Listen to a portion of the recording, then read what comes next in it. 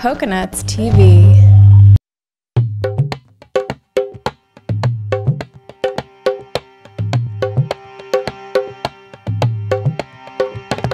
We are at uh, Singapore. The name of the restaurant is Apollo Banana Leaf.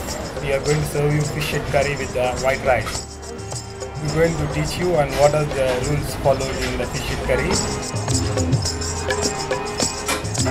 Basically, once they're broken, you have to take it once you finish because it be hot. So you have to break it. You have to take it slowly and going smoothly you can use your fork, fork to hold it so that the curry won't be split. Yeah, don't make it hard. The only thing when you cook it fast, then the gravy will spill out. You can now eat it with your hand. Just put your finger on the rice.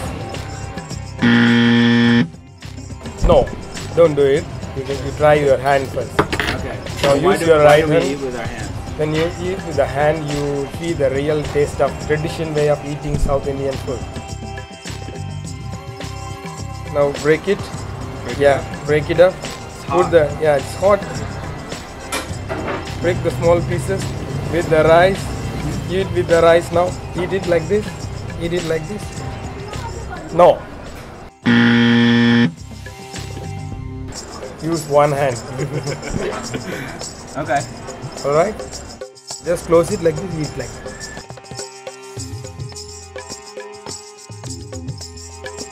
Just take one papadam from your hand. Yeah, same hand, yes.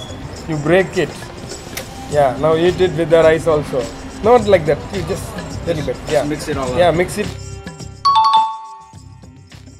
Take the whole papan. Eat like that. Yes.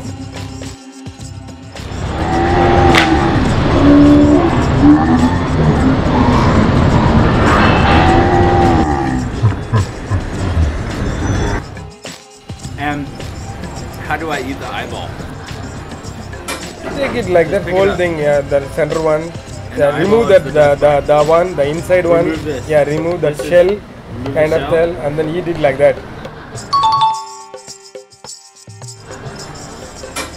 Many of them like that, so it is good for eyes.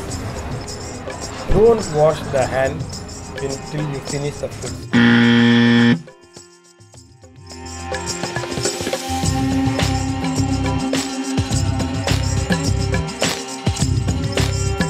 So I think this video will definitely help you.